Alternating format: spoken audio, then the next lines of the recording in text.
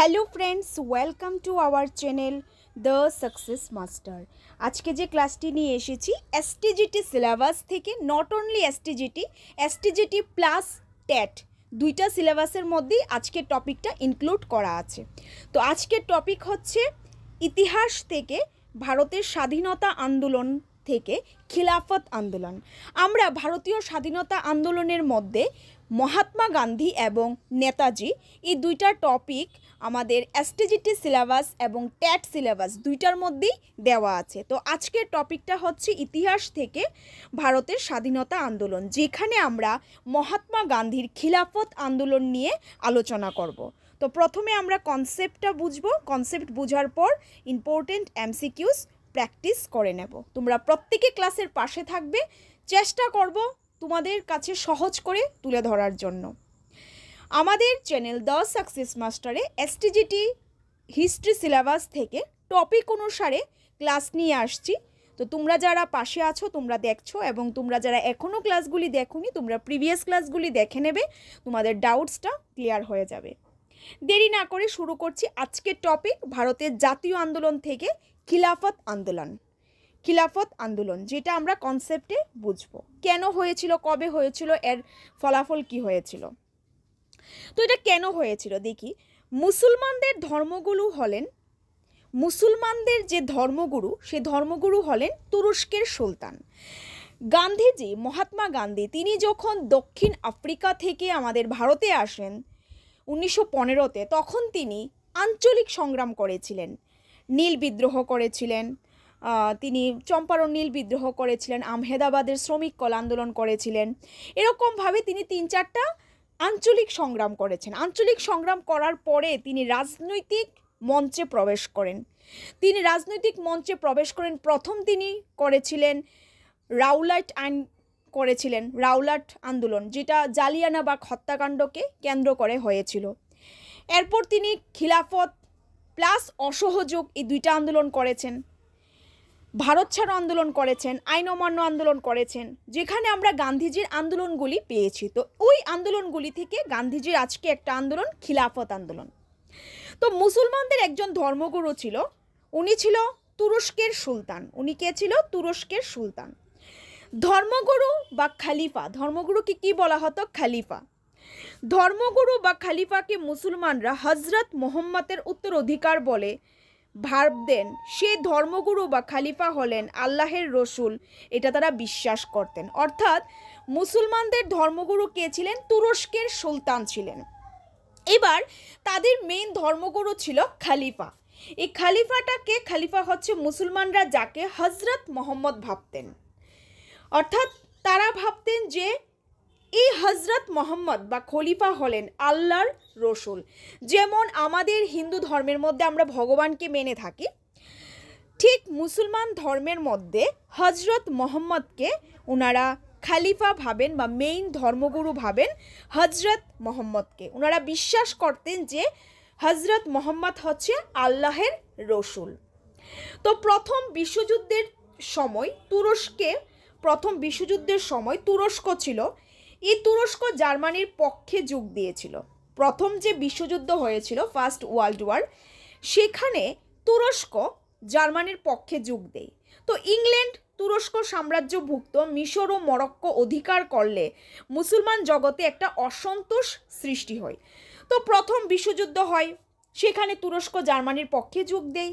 এদিকে ইংল্যান্ড কি করল? এদিকে ইংল্যান্ড তুরস্ক সাম্রাজ্যভুক্ত যে মিশর আর মরক্কো দুইটা জায়গা অধিকার করে নিল। কারা? ইংল্যান্ডের তুরস্ক। তখন মুসলমান জগতের মধ্যে একটা অসন্তোষকর পরিবেশ সৃষ্টি হয়। ভারতেও এর প্রভাব পড়ে। ইংল্যান্ডের সে প্রভাবটা ভারতেও পড়েছিল। শেষ পর্যন্ত সেভাবে সরি শেষ পর্যন্ত স্যাবরের একটা চুক্তি হয়েছিল। চুক্তিটার নাম কি? স্যাবরের চুক্তি। ওই স্যাবরের চুক্তির দ্বারা ইংল্যান্ড তুরস্কের সুলতানের অবমাননা করা হয়। তো আমরা একটু আগে জাস্ট পড়লাম যে তাদের মেইন ধর্মগুরু খালিফা হজরত মোহাম্মদকে তারা মেইন ভাবতেন। ওই যে প্রথম বিশ্বযুদ্ধের সময় এই যে ঘটনাবলীগুলি হলো, এই প্রেক্ষিপথে বা এই পরিপ্রেক্ষিতে এই পরিপ্রেক্ষিতে কি হলো? সেবরের চুক্তি দ্বারা তুরস্ক, তুরস্কের কি করল? তুরস্কের সুলতানের অবমাননা করল।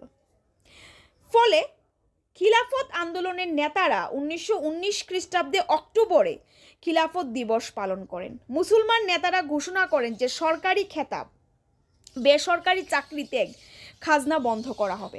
অর্থাৎ মুসলমানদের ধর্মগুরুকে আঘাত আনাতে বা মুসল, মুসলমানদের যে ধর্মগুরু ছিল খালিফা ওনাকে অসম্মান জানাতে মুসলমানরা সবাই এবার ক্ষুব্ধ হয়ে যায়। তারা বলে যে আমরা সরকারি, বেসরকারি চাকুরি ত্যাগ করলাম। খাজনা ত্যাগ করে দিলাম, খাজনা দেওয়া বন্ধ করে দিলাম। ইংরেজদের প্রতি তারা ক্ষুব্ধ হয়ে উঠেছিল। তারা বলেছিল, আমরা আর খাজনা দেব না, বেসরকারি সরকারি চাকুরি তারা ত্যাগ করল। ওই বছরের নভেম্বর মাসে তারা খিলাফত কমিটিও গঠন করেছেন। কারা? মুসলমানরা। খিলাফত কমিটি গঠন করেছিলেন। একই সময়, ঠিক সেই সময় দিল্লিতে আরেকটা অনুষ্ঠান হয়েছিল, সর্বভারতীয় খিলাফত সম্মেলন অনুষ্ঠিত হয়। সেখানে খিলাফত আন্দোলন কর্মসূচির সেখানে খিলাফত আন্দোলনের যে কর্মসূচির মধ্যে প্রধান ছিল পুলিশ ও সেনাবাহিনী পদত্যাগ করা। ওই যে খিলাফত কমিটিটা গঠন হয়েছিল, ওই খিলাফত কমিটির মধ্যে প্রধান কি ছিল? প্রধান ছিল পুলিশ এবং সেনাবাহিনী। তারা কি করল? তাদের চাকুরি ত্যাগ করে দিল। তারা তাদের পদটাকে ত্যাগ করে দিল। তারা ত্যাগ করল সরকারি খেতাব, ত্যাগ করল অন্যান্য পদ এবং বেসরকারি পদগুলি থেকেও তারা ইস্তফা দিয়ে দিল। মেন ঘটনাটা কোনটাকে কেন্দ্র করা হয়েছে? মেন ঘটনা হয়েছে তাদের তুরস্কের সুলতান খালিফাকে বা মুসলমানদের ধর্মগুরু খালিফাকে তারা অপমান করেছিল। তাই মুসলমান জগৎ ক্ষুব্ধ হয়ে উঠেছিল। সেই মেইন কেন্দ্রবিন্দুটা কি? মেইন কেন্দ্রবিন্দুটা হচ্ছে এই যে মুসলমান ধর্মগুরু খালিফাকে অসম্মান জানিয়েছিলেন। এটা ছিল মেইন কেন্দ্রবিন্দু। এটাকে ঘিরেই এতটুক আন্দোলন হয়েছে। তারা আন্দোলন কমিটি করেন, খিলাফত কমিটি করেন। বিভিন্ন সরকারি, বেসরকারি খেতাবগুলিকে ত্যাগ করেন, চাকুরি ত্যাগ করেন, বিভিন্ন পথ ত্যাগ করেন এবং এখানে সবচেয়ে মেন রোল ছিল পুলিশ সেনাবাহিনী। তারা নিজেদের পথ ত্যাগ করে দেয়। ইংরেজদের প্রতি বিরোধিতা করে। খিলাফত আন্দোলনে এবার আমরা দেখব খিলাফত আন্দোলনে গান্ধীজির কি ভূমিকা ছিল। ইম্পর্টেন্ট উনিশশো উনিশ খ্রিস্টাব্দের চব্বিশ নভেম্বর। কবে? উনিশশো উনিশ খ্রিস্টাব্দের চব্বিশ নভেম্বর দিল্লিতে অনুষ্ঠিত হয়েছিল নিখিল ভারত খিলাফত সম্মেলন। সেখানে সভাপতি কে ছিলেন? সভাপতি হিসাবে গান্ধীজি। অহিংসা ও অসহযোগীর নীতিকে খিলাফত আন্দোলনের সঙ্গে যুক্ত করেছিলেন। তো এখানে কি হয়েছিল? দিল্লিতে অনুষ্ঠিত হয়েছিল খিলাফত সম্মেলন, যেখানে সভাপতি কে ছিলেন? মহাত্মা গান্ধী। তিনি অহিংসা আর অসহযোগের যে নীতি, তিনি অহিংসা এবং অসহযোগের নীতিকে খিলাফত আন্দোলনের সঙ্গে যুক্ত করে দিলেন। তিনি বললেন যে খিলাফত আন্দোলন এটার সঙ্গে যুক্ত হবে অহিংসা, অর্থাৎ হিংসা করা যাবে না এবং অসহযোগ সেটাকে যোগ করে দিলেন। অসহযোগ আন্দোলনের সঙ্গে খিলাফত আন্দোলন যুক্ত করার কারণ কি? তাই আমি বললাম যে তিনি তিনি খিলাফত আন্দোলন ও অসহযোগ আন্দোলন করেছিলেন। কারণ খিলাফত যে আন্দোলনটা শুরু করেছিল মুসলমান জগৎ, খিলাফত কমিটি তৈরি করেছিল, মহাত্মা গান্ধী কি করলেন? এই খিলাফত কমিটিটাকে বা খিলাফত আন্দোলনটাকে যুক্ত করে দিলেন অসহযোগ আন্দোলনের সঙ্গে। কেন করলেন? আমরা দেখব এবার কারণগুলি। কারণ খিলাফত কমিটি খিলাফত কমিটি অহিংসা অসহযোগ নীতিকে সমর্থন করেছিল। খিলাফত কমিটি তারা সমর্থন করেছিল হ্যাঁ হিংসা আমরা করব না, অহিংসার নীতিটাকে আমরা গ্রহণ করলাম। প্লাস তারা অসহযোগ নীতিটাকেও সমর্থন করেছে। এছাড়া গান্ধীজি হিন্দু ও মুসলমানের ঐক্য সংহিতি স্থাপন করতে চেয়েছিলেন। গান্ধীজি ভাবলেন এই হচ্ছে সুযোগ, ইংরেজদের বিরোধিতা করার। কারণ হিন্দু, মুসলমান উভয়ই এখন হিন্দু, মুসলমান, উভয়ই এখন ইংরেজদের বিরোধিতা করবে। এখানে কোনো জাতিভেদ থাকবে না। এখানে থাকবে সবাই আমরা ভারতীয়। তিনি সবাইকে এক সূত্রে বাঁধতে চেয়েছিলেন যে আমরা ভারতীয়। আমরা ভারতীয়, সেই ভারতীয়রা এবার ইংরেজদের পক্ষে যুদ্ধ চালাবে। এখানে তিনি হিন্দু ও মুসলমানের ঐক্যটাকে স্থাপন করতে চেয়েছিলেন। গান্ধীজি বলেছিলেন, হিন্দু, মুসলমানের এমন ঐক্যের সুযোগ আগামী একশো বছরও আর আসবে না। এছাড়া হিন্দু ও মুসলমান ঐক্যের দ্বারা ব্রিটিশ বিরোধী সর্বাত্মক আন্দোলন পরিচালনা করা ইত্যাদি। এই সমস্ত কারণে গান্ধীজি কি করলেন? গান্ধীজি অসহযোগ আর খিলাফত আন্দোলনকে যুক্ত করে দিলেন। কারণ কারণ সবাই খিলাফত আন্দোলনকে অসহযোগ আন্দোলনের সঙ্গে অ্যাকসেপ্ট করেছিলেন। তাছাড়া ওনারা অহিংসা নীতি, অহিংসা নীতিটাকে সমর্থন করেছিলেন, অসহযোগ নীতি সমর্থন করেছিলেন। এই সমস্ত কারণে গান্ধীজি কী করলেন? গান্ধীজি ভাবলেন যে হিন্দু ও মুসলমানের মধ্যে ঐক্য স্থাপন করতে পারলে এমন একটা সুযোগ আর একশো বছর আসবে না। আর হিন্দু আর মুসলমানের মধ্যে যদি ঐক্য স্থাপন করা যায়, তাহলে সবাই একত্রিত হয়ে ইংরেজদের বিরুদ্ধে লড়াই করবে। নেক্সট হচ্ছে খিলাফত আন্দোলনের গুরুত্ব। এটার গুরুত্ব কী ছিল? ভারতের মুক্তি সংগ্রামের ইতিহাসে খিলাফত আন্দোলন এক গুরুত্বপূর্ণ অধ্যায়। এই খিলাফত আন্দোলন অহিংস, অসহযোগ আন্দোলনের সঙ্গে মিশে গিয়ে ব্রিটিশ বিরোধী আন্দোলনের রূপ নিয়েছিল। কিন্তু তুরস্কের কামাল পাশার নেতৃত্বে খালিফা পদের অবসান হলে খিলাফত আন্দোলনের প্রয়োজনীয়তা হ্রাস পায়। শেষ পর্যন্ত খিলাফত আন্দোলন বন্ধ হয়ে যায়। ফলে রাজনৈতিক আন্দোলন গড়ে ওঠার ক্ষেত্রে সাম্প্রদায়িকতার পথ প্রশস্ত হয়ে যায়। তো লাস্ট অবধি কি হলো? এবার ভারতে মুক্তি সংগ্রামের ইতিহাসে খিলাফত তো গুরুত্বপূর্ণ, এটা মানা যায়। কিন্তু কি হলো? এই যে খিলাফত আন্দোলনটা, এটা ছিল একটা ব্রিটিশ বিরোধী আন্দোলন। কিন্তু তুরস্কের যে নেতারা ছিল বা তুরস্কের নেতৃত্বে যে খালিফা পদের অবসান হয়, তাতে খিলাফত আন্দোলনের প্রয়োজনীয়তাটা, খিলাফত আন্দোলনের যে প্রয়োজনীয়তা, এটা হ্রাস পেয়ে যায়। শেষ পর্যন্ত খিলাফত আন্দোলনটা বন্ধ হয়ে যায়। তো আমরা প্রথম দিকে কি দেখেছিলাম? যে গান্ধীজি খিলাফত আন্দোলনের সঙ্গে যুক্ত করেছিলেন অসহযোগ আন্দোলন। তো কিছু সময় পর দেখা গেল, এই খিলাফত আন্দোলনটাই বন্ধ হয়ে গেছে। তো যেহেতু খিলাফত আন্দোলন বন্ধ হয়ে গেছে, এখানে অসহযোগ আন্দোলনও বন্ধই হয়ে যাবে। তাই কি হলো? রাজনৈতিক আন্দোলনটা গড়ে ওঠার ক্ষেত্রে সাম্প্রদায়িকতার পথটা প্রশস্ত হয়ে যায়। অর্থাৎ আন্দোলনটা বন্ধ হয়ে যায়। তো আমরা এই খিলাফত আন্দোলনের মধ্যে মেন কি পেলাম? যে খিলাফত আন্দোলন হচ্ছে একটা ব্রিটিশ বিরোধী আন্দোলন। এটা মেইন কেন্দ্র কী ছিল? তুরস্কের সুলতান খালিফাকে অপমান করাতে মুসলমান সমাজ গর্জে ওঠে। এবং গান্ধীজি ভাবলেন, এই হচ্ছে সুযোগ। হিন্দু আর মুসলমানের মধ্যে ঐক্যতা স্থাপন করে ইংরেজদের বিরুদ্ধে লড়াই করা যাবে। তো এইভাবে তিনি অনেক চেষ্টা করেছেন, কিন্তু শেষ পর্যন্ত এটার প্রয়োজনীয়তাটা হ্রাস পেয়ে যায়, খিলাফত আন্দোলন বন্ধ হয়ে যায়, ফলে অসহযোগ আন্দোলনটাও বন্ধ হয়ে গিয়েছিল। তো এই ছিল ফ্রেন্ডস ফুল কনসেপ্ট এখন আমরা কিছু এমসিকিউজ প্র্যাকটিস করে নেব।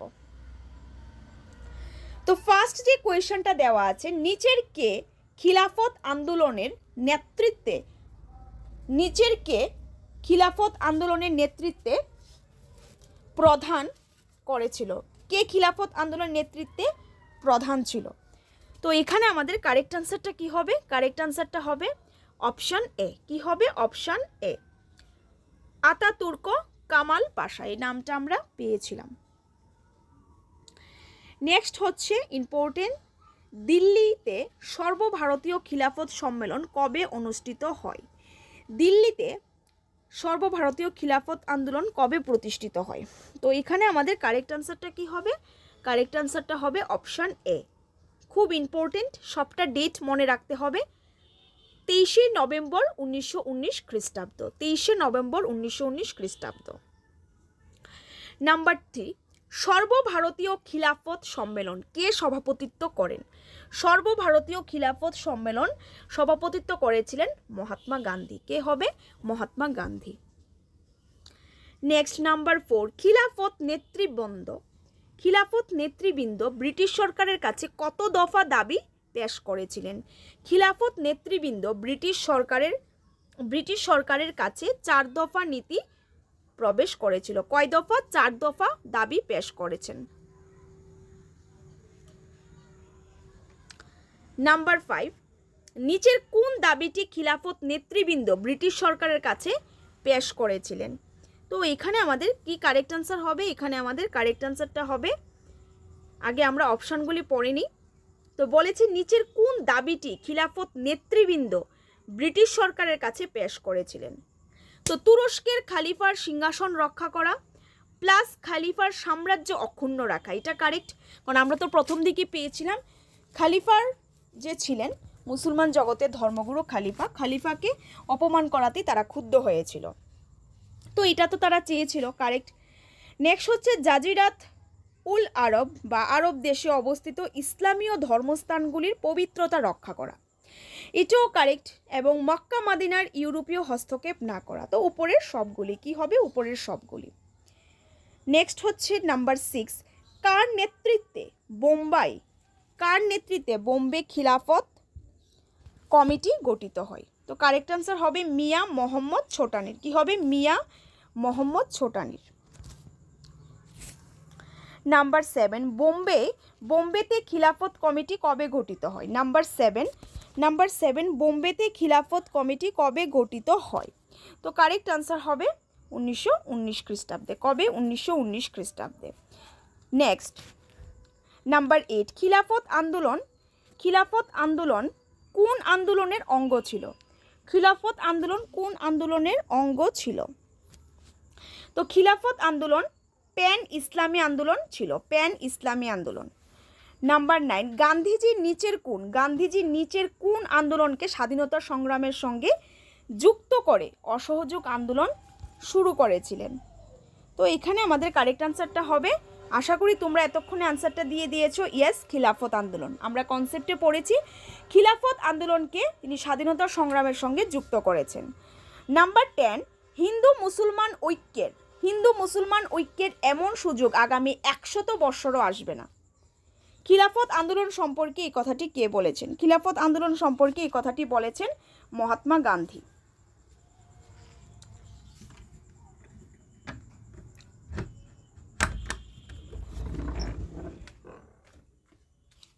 নেক্সট যে কোয়েশনটা দেওয়া আছে নেক্সট কোয়েশনটা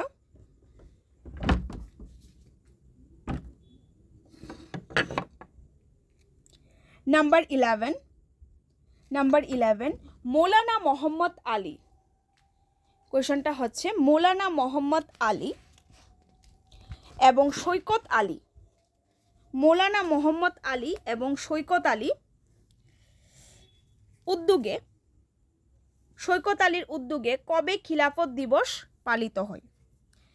তো এখানে কারেক্ট আনসার হবে সতেরো অক্টোবর উনিশশো উনিশ খ্রিস্টাব্দ। সতেরো অক্টোবর উনিশশো উনিশ খ্রিস্টাব্দ। Number twelve Maulana Mohammad Ali. মৌলানা মোহাম্মদ আলী এবং সৈকত আলীর উদ্যোগে কবে নিখিল ভারত কমিটি গঠন করা হয়? তো এখানে আমাদের কারেক্ট আনসার হবে উনিশশো বিশ খ্রিস্টাব্দে। কবে? উনিশশো বিশ খ্রিস্টাব্দে। নাম্বার থার্টিন প্রথম বিশ্বযুদ্ধে প্রথম বিশ্বযুদ্ধে তুরস্ক কার পক্ষে অবলম্বন করেছিল? প্রথম বিশ্বযুদ্ধে তুরস্ক কার পক্ষে অবলম্বন করেছিল? তো কারেক্ট আনসার কি হবে? জার্মানি। কি হবে? কারেক্ট আনসার হবে Germany. Number fourteen number fourteen কবে খিলাফত ইস্তাহার প্রকাশ করে যে অসহযোগ আন্দোলনের পরিকল্পনা ঘোষণা করা হয়? কারেক্ট আনসার উনিশশো সাতাইশ খ্রিস্টাব্দে। কবে? উনিশশো সাতাইশ খ্রিস্টাব্দে। নাম্বার ফিফটিন নাম্বার ফিফটিন হচ্ছে কে তুরস্কের খালিফাতন্ত্রের বিলুপ সাধন করেন? কে বিলুপ সাধন করেন? Ataturk Kemal Pasha. Number sixteen কবে কামাল পাশা, কবে কামাল পাশা তুরস্কের খালিফাতন্ত্রের বিলুপ সাধন করেন? তো এখানে আমাদের কারেক্ট আনসারটা হবে উনিশশো চব্বিশ খ্রিস্টাব্দ। কি হবে? উনিশশো চব্বিশ খ্রিস্টাব্দ। নাম্বার সেভেন্টিন খিলাফত আন্দোলনের মূল কারণ কী ছিল? খিলাফত আন্দোলনের মূল কারণ কী ছিল? তুরস্কের খালিফার হারানোর মর্যাদা ফিরিয়ে দেওয়া, যেটা আমরা কনসেপ্টে পেয়েছি। নাম্বার এইটিন খালিফা শব্দের অর্থ কী? নাম্বার এইটিন খালিফা শব্দের অর্থ হলো ধর্মগুরু। কি হবে? ধর্মগুরু। নাম্বার নাইনটিন খিলাফত আন্দোলন কবে শুরু হয়েছিল? খিলাফত আন্দোলন কবে শুরু হয়েছিল? উনিশশো আঠারো সালে। নাম্বার টোয়েন্টি বিশ্বের মুসলমান সম্প্রদায়ের, বিশ্বের মুসলমান সম্প্রদায়ের নেতা বা খালিফা কে ছিলেন? বিশ্বের মুসলমান সম্প্রদায়ের নেতা বা খালিফা ছিলেন তুরস্কের শাসক বা সুলতান। কি হবে? তুরস্কের শাসক বা সুলতান। নাম্বার টোয়েন্টি ওয়ান, খিলাফত দাবি উপলক্ষে গান্ধীজির পরামর্শ, পরামর্শে কবে হরতাল পালিত হয়?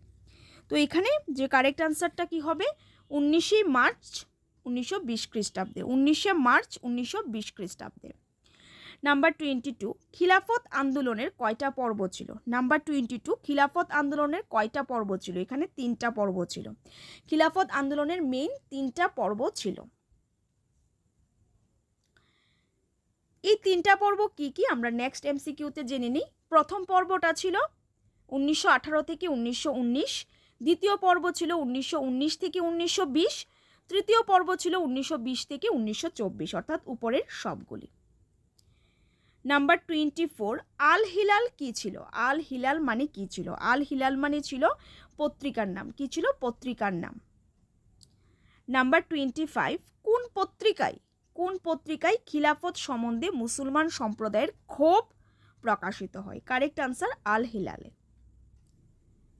নাম্বার টোয়েন্টি সিক্স কে খিলাফত আন্দোলন শুরু করেন? কে খিলাফত আন্দোলন শুরু করেছিলেন? খিলাফত আন্দোলন শুরু করেছিলেন মৌলানা মোহাম্মদ আলী ও সৈকত আলী। মৌলানা মোহাম্মদ আলী ও সৈকত আলী।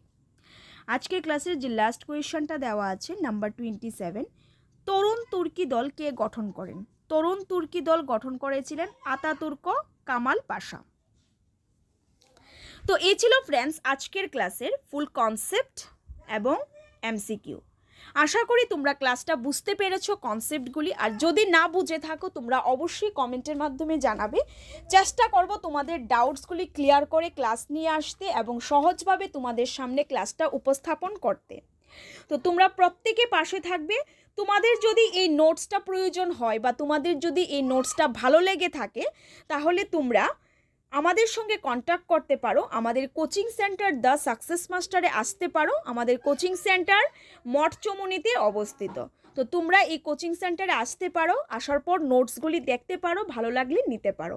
আমাদের এখানে TET one TET two arts এবং সায়েন্স ইংলিশ ভার্সন এবং বেঙ্গলি ভার্সন প্লাস এসটিজিটির প্রত্যেকটা সাবজেক্টের নোটস অ্যাভেলেবেল তোমরা, তোমাদের যাদের নোটসের প্রয়োজন বা নোটসটা দেখতে চাও, তোমাদের নোটসটা পছন্দ হয়, তোমরা চলে আসতে পারো আমাদের কোচিং সেন্টার দ্য সাকসেস মাস্টারে আমাদের এখানে নোটসের পাশাপাশি অফলাইন ক্লাসেস হয়ে থাকে, যেখানে আমরা নিউ একটা ব্যাচ শুরু করতে চলেছি ট্যাটুর ব্যাচ যেটার ক্লাস স্টার্ট হবে ফার্স্ট উইক অফ অগাস্ট যেটার ক্লাস হবে সপ্তাহে দুই দিন, শনিবার এবং রবিবার। অ্যাডমিশন চলছে, অনেকেই অ্যাডমিশন হয়েছ আরও কিছু সংখ্যক আমরা অ্যাডমিশন নেব। যারা যারা ইন্টারেস্টেড অফলাইন ক্লাসেসের জন্য, তোমরা কন্ট্যাক্ট করতে পারো আমাদের সঙ্গে, চলে আসতে পারো আমাদের কোচিং সেন্টার দ্য সাকসেস মাস্টারে এটাই তোমাদের সঙ্গে শেয়ার করার ছিল। তোমরা যদি নোটসের ব্যাপারে নোটসের ব্যাপারে অ্যাডমিশন রিলেটেড আরও ডিটেলসে জানতে চাও, তোমরা এই নম্বরে কল করে জানতে পারো। ডিটেলসে জানতে পারো, এই নম্বরে ফোন করলে তোমাদের ডাউটসটা তোমরা ক্লিয়ার করতে পারো। নোটস প্লাস অ্যাডমিশন রিলেটেড তো এটাই শেয়ার করার ছিল, যাবার আগে আবারও বলছি তোমাদেরকে অসংখ্য ধন্যবাদ পাশে থাকার জন্য। তোমরা পাশে আছো বলেই ক্লাস নিয়ে আসতে পারি। তো তোমরা প্রত্যেকে পাশে থাকবে। চেষ্টা করব তোমাদের ডিমান্ড থেকে ক্লাস নিয়ে আসতে। ক্লাসগুলি কেমন লাগে কমেন্ট করে জানাবে। তোমাদের কমেন্টসগুলি পেয়েই সাহস নিয়ে ক্লাস নিয়ে আসি। তো তোমরা প্রত্যেকে পাশে থাকবে। তোমাদেরকে অসংখ্য ধন্যবাদ। দেখা হবে তোমাদের সঙ্গে আমাদের কোচিং সেন্টার দ্য সাকসেস মাস্টারে।